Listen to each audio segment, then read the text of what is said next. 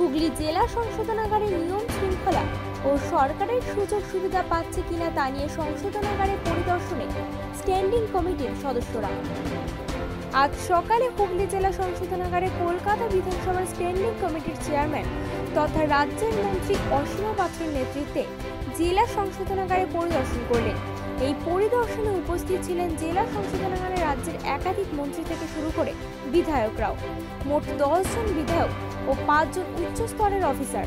উপস্থিত ছিলেন দেবাশিস কুমার, তপন দাশগুপ্ত।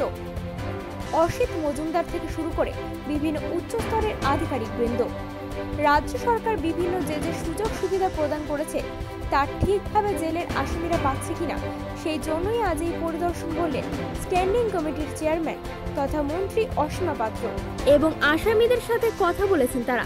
আসামিরা জানিয়েছেন যে সমস্ত সুযোগ সুবিধা তারা ঠিকভাবেই পাচ্ছেন। অ্যাসেম্বলির যে কমিটি আছে হোমে সেই কমিটির টোটাল আমরা আজকে হুগলি জেলে ভিজিট করতে এসেছিলাম। কারণ রাজ্য সরকার আমাদের প্রত্যেকটা জেলে খুব সুযোগ সুবিধা দিচ্ছেন। সেটা ঠিক মতন পাচ্ছে কি না আমরা দেখলাম এবং কয়েদিদের সাথেও আমরা কথা বললাম কিচেনও দেখলাম। মোটামুটি সবটাই ঠিক আছে। কোনো অভাব অভিযোগ পেলেন? ইয়ে করেনি তো পাবো কোথায়? করেনি। সবাইকে জিজ্ঞাসা করলাম সবাই বললেন যে আমরা সবটাই ভালো পাচ্ছি। স্ট্যান্ডিং কমিটিতে কতজন আছেন দিদি? আজকে কতজন এসছে?